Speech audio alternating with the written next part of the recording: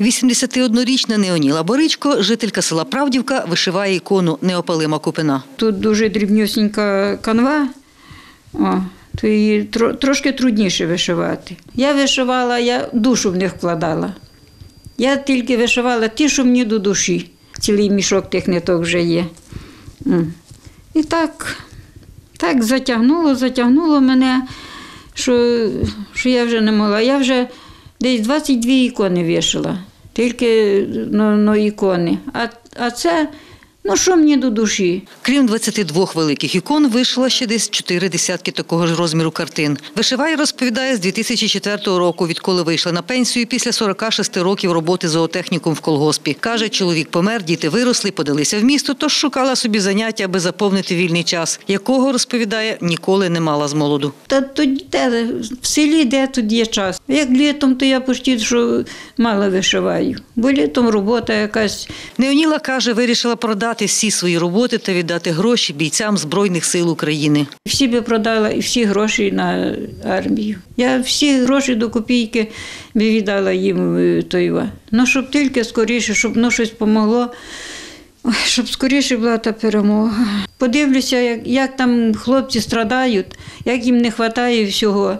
Дивлюся, розуваються, мокрі носки, ті целофанові пакети скидають. Посушити не мають де. Ну, прямо я не знаю. І плакати хочеться, і плачу не раз. Думаю, та що ж діти, і вони ж нас захищають.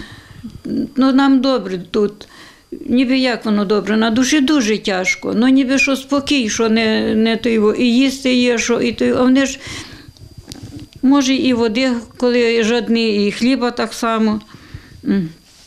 Та я думаю, хоч що-небудь. За скільки хотіла б продати свої роботи, каже, не знає, так само, як і на що хотіла б ці гроші віддати. Розповідає, чула, що на передовій потрібні медичні ножиці. Потрібно ножиці якісь для медицини. І вони дуже дорогі. 100 тисяч чи що коштують. Ти їй віддала гроші, що саме більше потрібно. А ні, то термобілизна, носки, їм все треба. Зі слів Неоніли, вона намагається допомагати армії, чим може. Був період, що я пекла.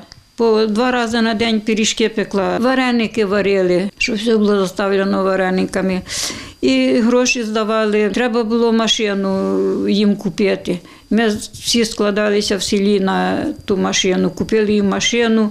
І потім вже показували звітам відео, що вони вже одержали ту машину. Свої роботи, каже, не пробувала продавати, крім двох ікон, які купили для місцевої церкви. Розповідає, їй радять продавати роботи в інтернеті, та як це робити, жінка, каже, не знає. Світлана Поробок, Дем'ян Цегольник, Суспільне новини, Хмельниччина.